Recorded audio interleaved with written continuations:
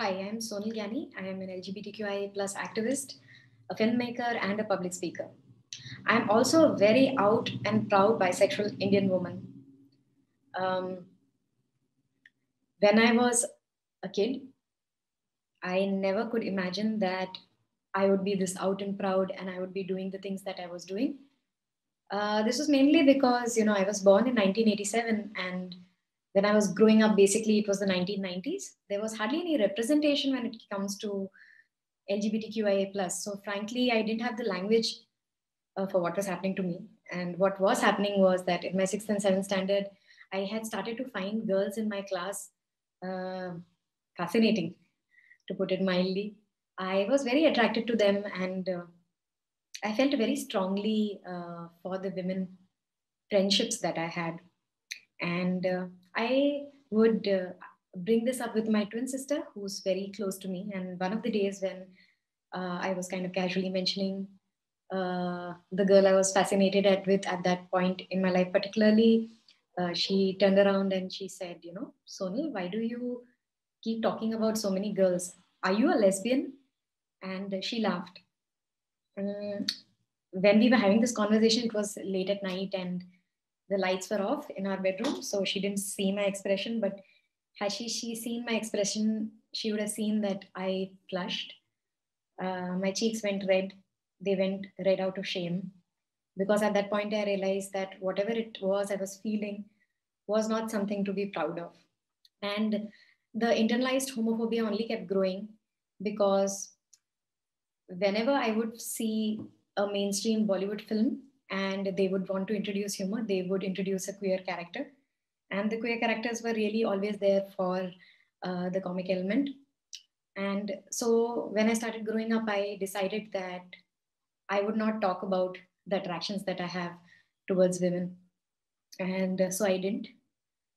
Uh, what would happen um, was, though, that I started over the years really, really building more and more uh, shame around talking about it openly or feeling more and more alone about it. This is when I went to my college. I decided to join a hotel management course. I joined the college, and uh, like most people, it was a culture shock for me because I came from a small town, and many people had partners and uh, girlfriends and boyfriends. And this is the time I had my first boyfriend. He was a lovely person, very genuinely lovely guy. Uh, but when I was with him, I felt the need. Uh, I felt the need and definitely started imagining what it would look like if I had the same relationship with a woman. And around this time, I started developing a crush on a woman. And uh, before I could sort of process what I was feeling for this woman or even come out to myself, um, somebody in my college anonymously put up a picture of me and this girl and uh, put it up for polling that do you think we are lesbians? And uh, I reported the post. Uh, the post was on a social media forum. I reported the post. The post was removed, but the damage was done. And what followed was um, I found that my classmates uh, started talking uh, behind my back. There were all kinds of rumors because people thought that uh, I was a lesbian. Um, and at that time, I became really, really depressed. Actually, I um, I felt another round of shame for who I was, and um, my severe depression finally led me to come out to my mother, who told me that you know I should consider counseling because I came out to her about attractions towards both men and women. Um, but you know, I was in a small town where counseling was not really easy, easily accessible. And for me, at that moment, my mother accepting my truth was more than enough to carry on. And that is when I decided to join a hotel, a hotel in Bombay, uh, which claimed to be LGBTQ friendly in its placements. And I was very, very excited when I uh, managed to get placed in this hotel. Um, uh, but what happened was that the rumors around my sexuality followed me to this hotel, and soon um, I found myself um, hiding my sexuality here again. Um, I had by then found a queer support group in Mumbai, um, but I didn't want to be out about my then partner. But you know, uh, things would come up in conversations. And what I started doing was that I uh, would change the pronoun of my partner so that people would not get to know about it. And over a period of time, uh, I started feeling very disconnected from my team members because I thought it would be harmless to change the pronoun, but I found myself lying to my team members all the time and they would bring it up from time to time. And uh, before I knew it, the homophobia started again. Um, there were there was sexual graffiti with my name written on it in the lifts of this hotel. Um, I started getting uh, receiving sexual overtures from my, uh, uh, you know, hotel staff, and this made it really difficult. And finally, I had to uh, leave this particular workplace, and I felt that um, there was nothing ahead in my life, and I felt very defeated. I felt that um,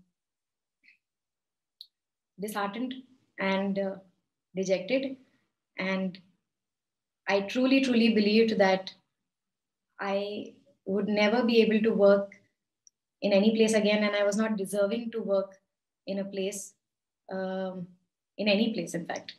Um, and this is when, thankfully, fortunately for me, I got into counseling. I found a great therapist who started working with me and working with my depression. And over a year of these counseling sessions, we man- managed to unwrap that what my primary feeling around my sexuality and my gender was was that of shame and once that got unwrapped she helped me pull out more layers more layers and she finally managed to help me turn my shame into pride and this is when the 2009 delhi high court judgment came out and all over the media i found uh, images of queer people whom I, by the way, had never really, you know, seen up till then. I read the beautiful words of AP Shah, Justice AP Shah, who offered dignity to uh, people like me through his judgment. And uh, I started feeling very, very positive. And this is the time I decided uh, to go and uh, attend a few queer events uh, be more involved in my community. And this is the time I, the Mumbai International Queer Film Festival happened. The first round of it happened in 2010. I went to see the film festival. And this was a film festival, a queer film festival, which was an international film festival. It had more than 100 films from uh, around the world. And I sat in a cinema hall, and uh, on the cinema screens, for the first time, I saw heroes and heroines uh, whose lives were like me, you know. And it had a really, really powerful impact on me to be able to see somebody who's like me. And there were so many stories of um, people who are out and supportive. I watched many, many documentaries on the subject, and this empowered me. So when I heard that the Humsafar Trust, which is an NGO working on LGBTQ rights, was looking for an assistant director on one of their films, I applied and I got selected. And the first two projects, film projects that I was part of, involved a oral history project. And this film project basically uh, was having uh, the director interview 20 LGBTQ activists who worked uh, towards LGBTQ rights uh, in India for the last 30 years.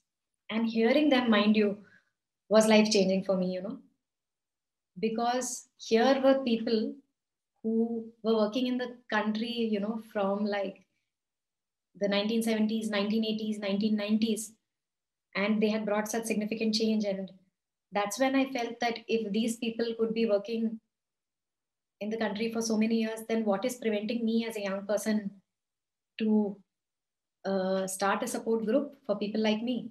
And this is when me and two of my colleagues, uh, the very beautiful and smart, intelligent, the most loving friends, uh, Shruta and Raj. The three of us came together and we formed Umang, which was a support group for lesbian, bisexual, and transmasculine persons. And through the support group, we started conducting, uh, you know, meetings for uh, people like us, uh, women who were like-minded. And as the meetings progressed, we realized that there were many people who needed support because they were they were facing some kind of bullying or harassment similar to me. So we offered them mental health support, legal support, um, and around the same time, the CEO of the Humsafar Trust decided that you know he wanted to consult young people about uh, what were the needs of the youth community, and he got ten of us in a room. I was one of the people there, and uh, that group of ten people then also decided to create a support group, uh, and the support group was called Yaariyan.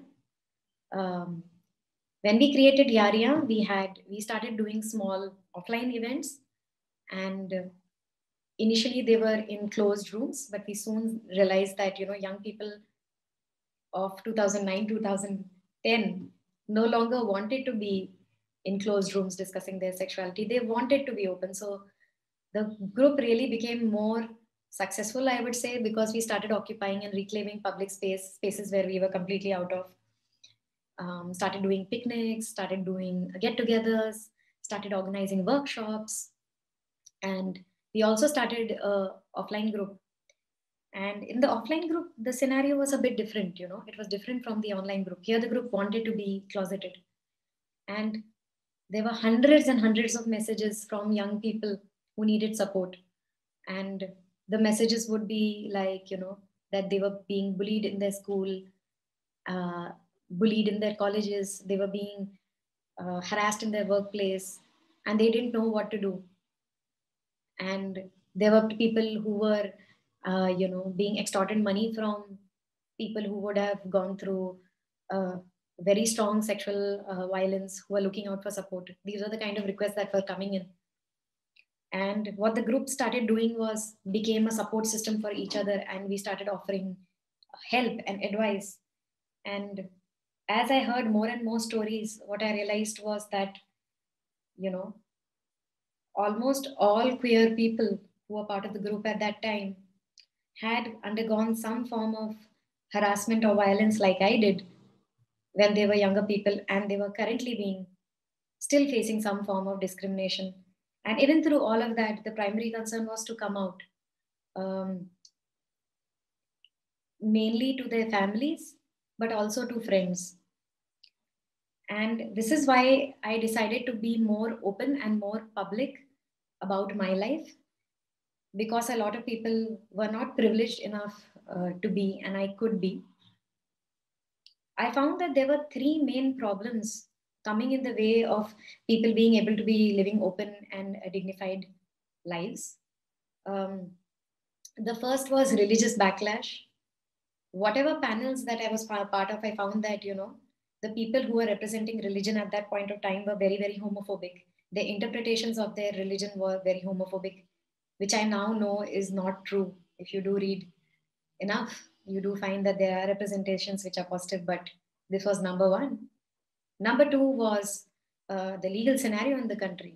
We were still, uh, while we were decriminalized in 2009, we were recriminalized in 2013. Luckily, again, decriminalized in 2018. But we still don't have uh, our legal rights in this country which doesn't allow us to be rep- recognized. And the third thing was media representation, popular culture representation. We were either um, completely invisibilized or um, when we were represented, there were only representations for comic element. And the serious films were only one or two which were coming out in the country, but they also seemed like violence porn when I say violence porn, what I mean is that the films that I saw in India, the queer films that were coming out of India, uh, were mainly films uh, which uh, only showed, uh, you know, the violence that had been inflicted on queer people from their families or, uh, you know, from their um, uh, from their peers. But we hardly had any stories where we also saw the positive aspects of these films. So this is when I started deeply thinking while I consumed more and more media and came more and more out. I started deeply thinking about the representation. Um, I felt the strong need to actually make films myself. This is when I left the NGO. And in the last two, three years, I have made about eight short films about LGBTQ persons, queer persons. I have made films because I felt the strong need for representation that was authentic, which was sensitive, and which was empowering. I want to make films that also have mass reach uh, because I know that when I saw the first documentary film, what I did feel and how empowering it was to uh, see somebody's story, uh, listen to documentaries where people were out and proud. And I think more of such representation is required. So my endeavor is to um, make such films. I continue speaking more publicly and openly uh, about being uh, a queer woman because I think this is important. Um, I really truly believe that, you know, um, a younger Sonal uh, could be sitting out there. And maybe my films or seeing me could propel them to come out uh, you know from a feeling of shame and fear. Because really uh, there should not be any shame and fear in being who you are. I think um, at this moment of my life i feel very powerful about being out and proud. Um, it is also because in my time as being a public speaker and uh, representing my community publicly, um, I have talked to thousands of people. And what I have realized uh, while interacting with thousands of people around India is that India is not a country which has hate towards the com- community. Uh, what it has is ignorance. When somebody comes out as queer in your family, the way you think about the whole queer movement and the discourse around rights that's happening is completely changed. So, if there is a younger queer person who's listening to me, what I want to offer you as advice at the end of this talk is number one, uh, to first come out to yourself and be proud of yourself, be honest to yourself. Number two, to be around people who believe in you, who support you. There are many, many support groups, and please do reach out and do look at role models because um, life does get better. And number three, embracing your vulnerability will allow you to be relatable first to yourself and then to everybody. Thank you so much.